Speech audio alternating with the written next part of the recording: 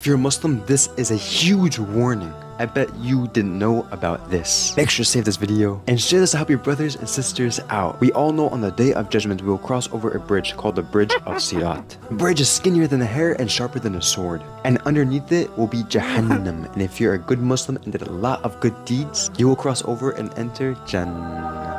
But did you know there's actually another bridge we will have to cross over after crossing over the bridge of Sirat called the Qantara Bridge. Those who pass over the bridge of Sirat will have a lot of good deeds. And the Prophet Muhammad said that you will meet with those you have wronged in the dunya on the Qantara Bridge. And if you hurt anyone in this dunya, you will lose all your good deeds on this bridge if the person you hurt doesn't forgive you. And you won't enter Jannah.